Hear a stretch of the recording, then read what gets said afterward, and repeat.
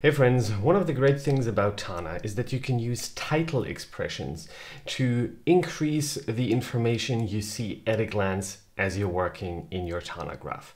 So let's jump right into Tana and I'm going to show you how that works and what that can do for you. So let's, for example, say that I'm trying to track client meetings. I'm consulting with people on implementing Tana in the team and I want to track these meetings. So what I of course want to do is first create a super tag, right? So um, that's what I'm going to do. And after I've written um, the name of the super tag in a node here, I do command K and then convert to super tag. Now I have a super tag called client meeting. Now when I open this up, what I will do is I'm going to create a field for the client, right? I want to record who the client is going to be. And now that I have this super tag, what I can of course do is start recording my client meetings, right? So for example, I have a weekly check-in with a client and I've tagged this with client meeting, right? Awesome.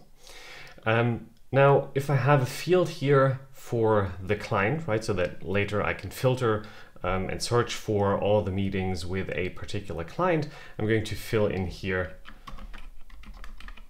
Acme Corp as well. But that means I have to enter the client twice here, right? That's kind of annoying and um, too much work.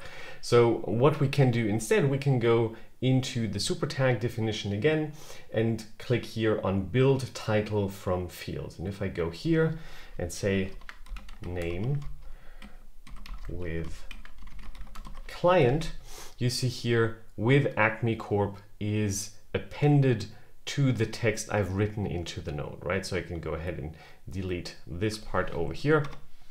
And now I have weekly check-in with Acme Corp.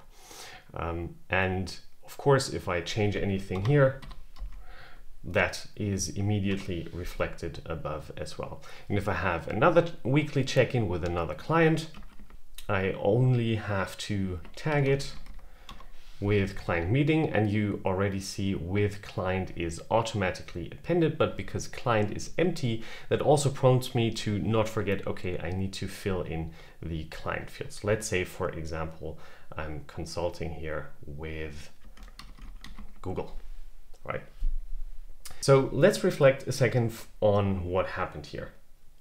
Um, name refers to the thing I type into the node myself and the dollar sign, curly braces, and then the field name is then appended to that in the end. One note, one thing you have to make sure is that one thing you want to pay attention to is that you can place name at the very end here and that also works with Google Weekly Check-in, but then you can't edit that node anymore, right? Like there's nothing I can I can type here. Name needs to be placed at the top of the title of the node so that you can still edit it, right?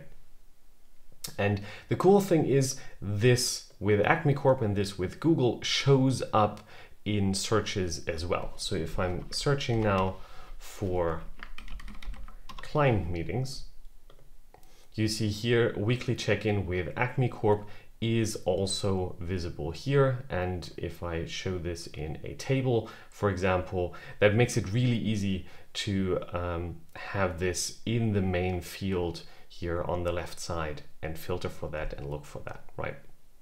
Now, the other thing that you do is that you include system fields, fields that the system has kind of hidden from you, right? It doesn't show up here in the template for the super tag, but the information exists inside Tana for that particular node. And one thing, for example, you can do is reference the day node that a specific node lives on. So let me show you what that means. Um, I'm going to move these two check-ins here to daily nodes. So these now live on the uh, today node, right? Today's Sunday as I record this. And I can now reference today's date, so Sunday, here and have it show up here as well, even though I have zero fields available here. So for example, if I had these meetings today, this is what I can do. Sys date from day node, right? So dollar sign, curly braces, and then sys colon date from day node. And you see here, weekly check-in with Google on today, Sunday, uh, 12th of February, right?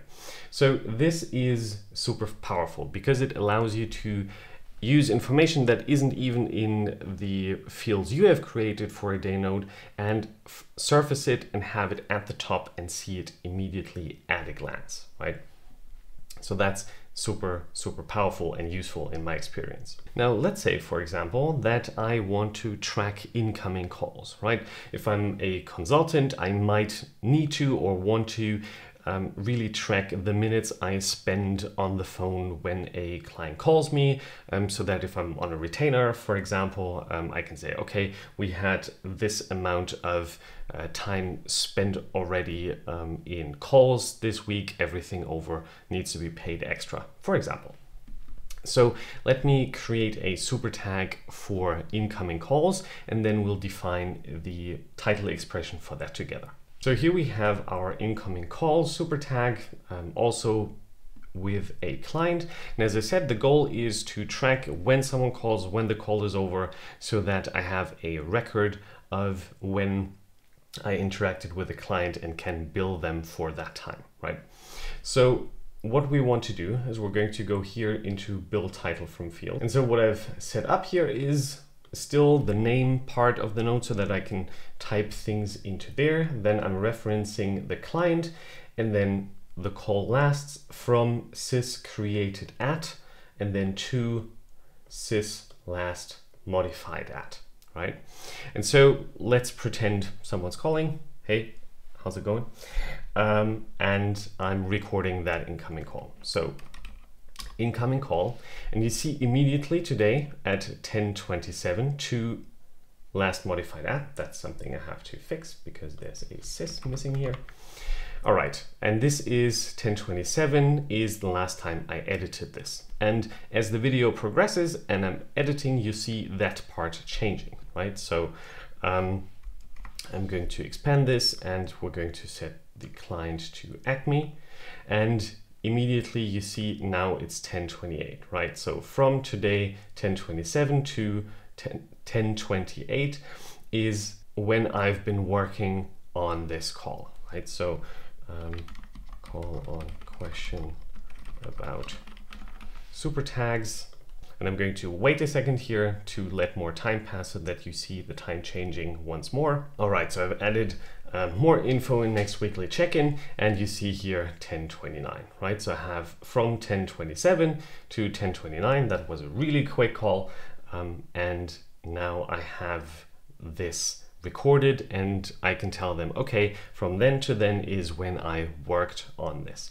Now, the problem, of course, is that immediately when you change this node, this is going to change, right? So if you go back a week later and fix it, that's going to add basically a week of time between these two dates um, as a as the last modified date. And to prevent that, what you can do is you can lock a node, right? So if you open, if you focus with your cursor into any node, and then you hit Command K and then lock, you can lock a node.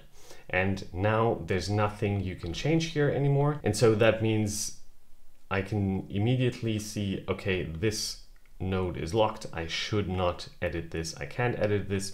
And then um, nothing can change here. Of course, if I change something here in the children, that is going to be recorded, right? So you can, um, if you want, lock all of them. And now um, nothing can be edited, but you can still add a new node and then this changes again, right? So this is not foolproof. This is not a total lockdown, if you will, of that node, but I think it helps tremendously in making sure if I do this sort of timekeeping with um, created at and modified at, I can do that. Now, an alternative um, is instead of using created at or last modified at, you can use C date and C time and M date and M time. So C date and C time and then M date and M time. And what you see is this formats the date differently, right? So um, C date and M date format this in year, month, day format, so ISO formatting. And the time equivalents, so C time and M time, give you the exact time down to the millisecond and it gives you the time in UTC. So um, created at and modified at, give it um, to you in terms of your local time and they do the formatting of today's date and the weekday um, in, in that formatting. But C date and C time give you ISO formatted timestamps basically down to the millisecond. That can be useful depending on how you want to set things up um, and I thought you should know that um, for future reference. But wait, there's more. there are even more things and title expressions you can use, and I'm going to show you these in the context of a workshop template. So um, let me set that up really quickly, and then we'll walk through that step by step again. All right, so now I have set up a workshop tag. And what we're going to do is I'm going to walk you through the different things I've done and how we can improve them with title expressions. So let's say I'm holding a workshop on how to use Tana inside a team or for a company. As you see, I have a client field that I can fill out. So let's use Acme again. And then a SOP, a standard operating procedure for how I want to prep um, any workshop. And let me show you how we can use this um, nicely with title expressions. Here we're going to fix the same problem that we had um, up here with uh, with Google or with Acme Corp, I want to know where I'm holding that Tana for Teams workshop because presumably I'm going to do many more of them. So build title from fields, name, and then let's do at, and then client, right? And now I have Tana for Teams at Acme Corp. Now what's really cool is that if I have a description in a node, I can use that as well. So if I have here a short description of the purpose of the workshop, for example, what's really cool is I can add this description here to the title node, to the title of the node as well. So you see here, Tana for Teams, and now everything is in here right? That is, of course, a really um, long explanation. So what Tana allows us to do is actually shorten this to just a couple of characters. So if I add a pipe character here and then do 10 and then dots, you see after 10 characters of the description, it converts into dots, right? So show how to, let's 16 then, Right, show how teams can um, use Tana, right? So this is shortened. And that, of course, also works uh, with any field, right? So I could do that here for a client as well. So um, if we do five here, then it's just teams for uh, Tana for teams at Acme and the rest is missing. Very useful, especially if you have long client names or whatever um, then you can use that to shorten um, the information that is displayed given from any field that you're using. What you can also do, of course, is add multiple values to a field, right? That works in Tana out of the box. So what you can do is, or what happens is that multiple values are shown um, here as well, right? Now we have here at Acme Corp and Google, and if I add Um, as well that gets added to, right? That's um, very useful. Now you see here I have um, prep workshop and SOPs, right? For every workshop that I do, I want to prep it in the same way. So I have a um, standard operating procedure for how to do it. So I have here SOP and SOP task.